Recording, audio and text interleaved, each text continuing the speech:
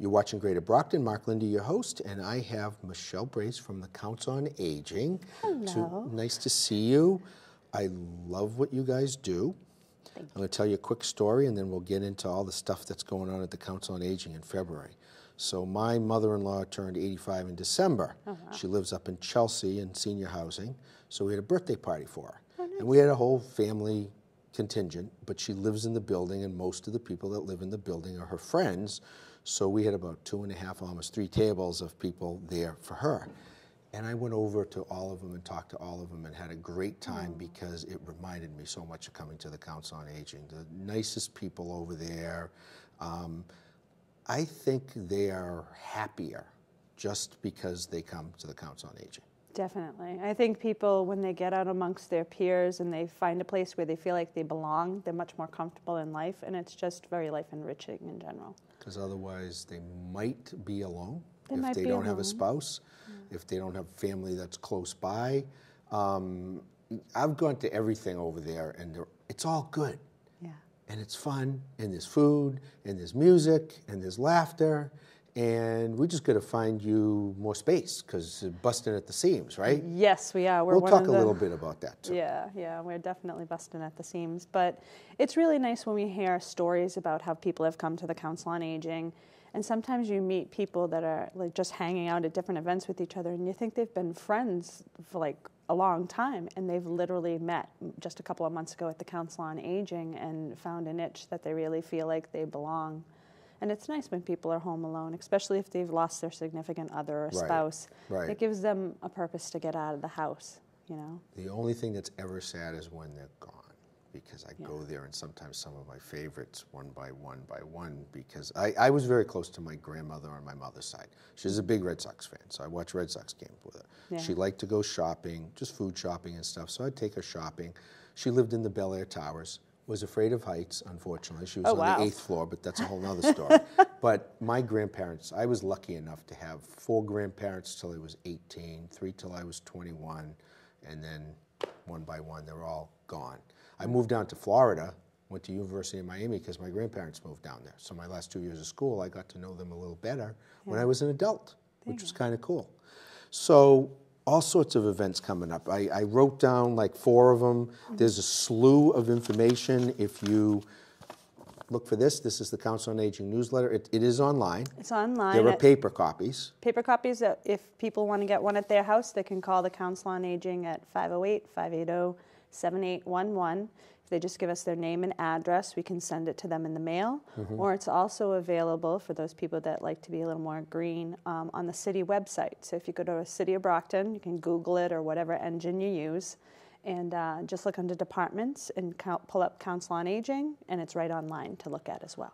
And I know someone's working on an article for the March issue, I think, about the good news that in Brockton, the new cable contract that was negotiated with the mayor is going to have a real senior discount this time. discount. So yeah, that will be on the front page of March's newsletter. I actually am doing the newsletter right now for Uh, March. Peter was telling me about it last night at our board meeting, and the mayor worked really hard. The, the se- senior, senior citizens are the bedrock of this community. And they're the people that built it, they're the people that helped pay for it.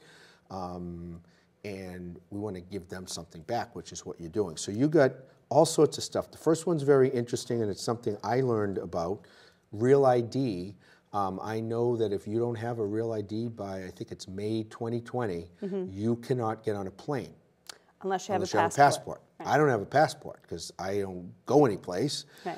which I want to. I'm, I, but my wife doesn't like to get on a plane, so so much for that. So I'm going to get a real ID, or else if I go on a, any kind of a trip for anything for work or otherwise, I'm not going to be able to do that. No, you definitely are going to So tell us this. about that. They're doing a seminar over there on that. So we have uh, Michelle Alex, who works for the Registry of Motor Vehicles, and she's coming over on Monday, February 4th at 1 o'clock.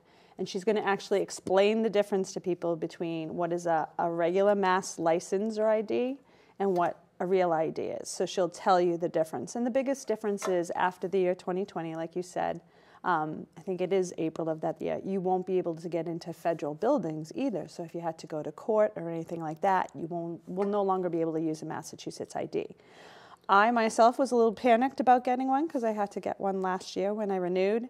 I filled out the application online. You can choose your documents online, and it was literally half an hour in and out of the motor, motor the vehicle uh, registry of motor vehicles. But online doesn't always work for Seniors. My my dad used to read six blogs a day online, but he couldn't do an email. He'd put the email in the subject line. He says, "Why won't it send?" I said, "Because it's too much content." But he was literate in some ways, and I know you guys teach that over there too. right, we do have computer classes so, as well. so you can do that. So that's Monday. February 4th February at 1 4th. o'clock. And that's why we're doing it, is we realize a lot of seniors still don't have the capacity to get online. Uh, They may not have internet or computers at their house. So that's why we always like to do these things there as well. So I've been talking too much. We got three minutes left. Let's go through the sixth, which is Wednesday. African American writers for Black History Month. Yeah, we have a new group. Well, it's not that new. It's two years old. It's called Life's Little Lessons. So the gist of it is things you've always wanted to learn about but never had the time to. So because it's um, Black History Month, we're going to do 20 amazing books by African American authors that everybody should really take the opportunity to read. And hopefully we have some of those books over at the library across the street. We do have some. I've already borrowed them. yeah, there you go. That's good. It's a good partnership. Yeah. Um, you have something. There's a new group, Mm-hmm. Better Breathers.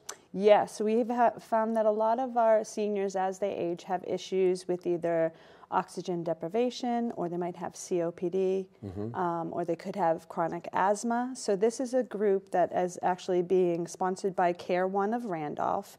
And the gentleman's name that's coming over is Di Dorsaville, and he's going to do a Better Breathers support group. And it's going to start on February 25th at 1 o'clock which is a Monday, and we'll have it every other month.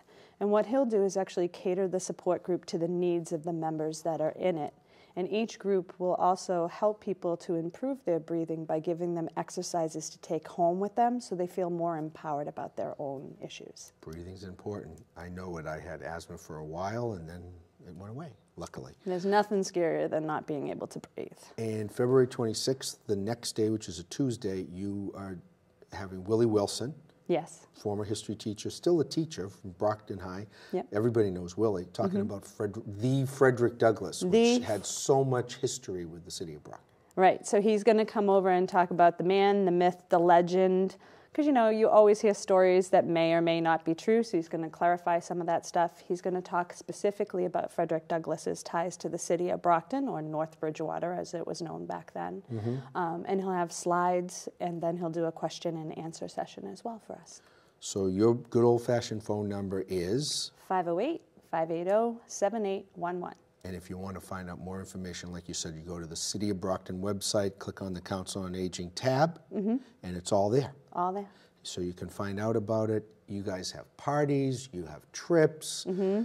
Mostly low cost or no cost. Mostly low some, cost Some of the no trips cost a little because you got to pay for the buses and all of that. but- Right, and that's actually through a travel agency, so it's not Right. a bus. But we, we're working on a bus, and hopefully we'll have one soon, a smaller van for our ah, Council on Aging as That, well. that would be good. Last but not least, I have a minute. I just need about 10 seconds. How's the planning for any kind of a move going? Is it s- slow, right? Yeah, Well, that got- would be a the- good question for the building committee. We'll do that. we'll do that, and we'll help you promote it. So we're Thank out of time. Thank you, Michelle. Thank you for having me. We can do a half an hour next time. Okay. No, you don't want to do that. You're watching Greater Brockton. Mark Linde, your host. Stay tuned for more events, places, people, and faces right here in the City of Champions.